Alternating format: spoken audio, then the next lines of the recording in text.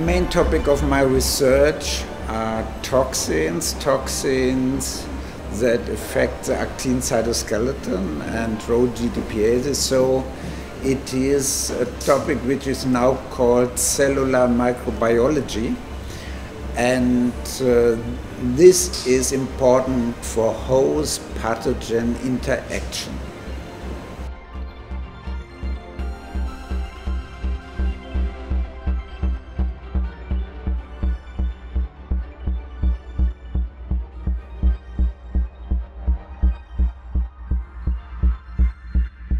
Experiment or scientific explanation or solution should be elegant because you need a little bit aesthetics aspects in science.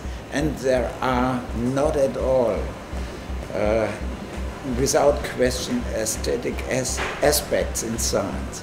Today i presented in my talk a very elegant method.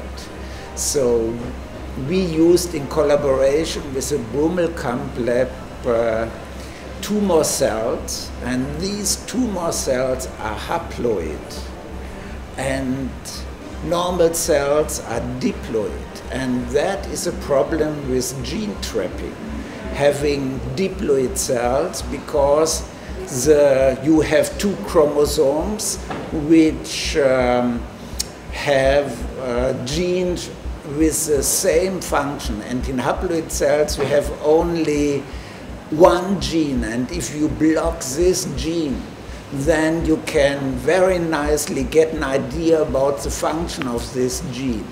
And these haploid tumor cells were used to establish a screening system and to find uh, ill cells, disease cells, to exploit it for science. That is a great idea and that is very elegant.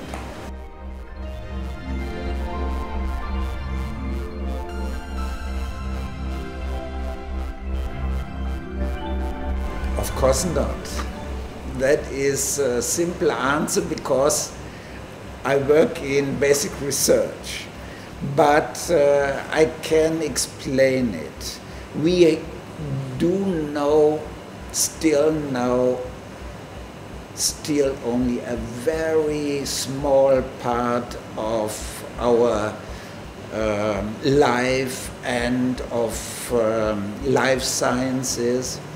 And for example, the advantage in life sciences from the last 30 years um, has brought um, uh, new perspective for the development of new drugs against cancer.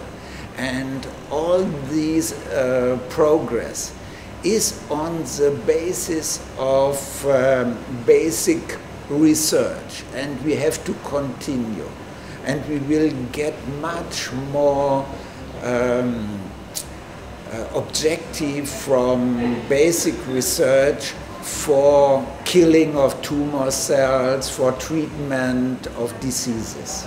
And therefore, basic research has to be supported.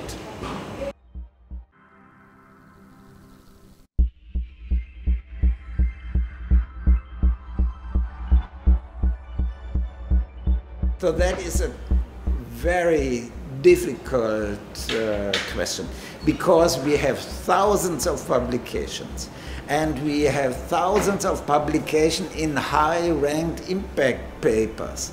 And all these um, scientific achievements are very very important. And therefore it's re really difficult to answer this.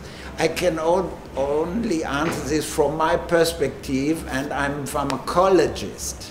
Uh, and that means uh, it's a question in pharmacology to have progress in the treatment of people, of, of disease of people.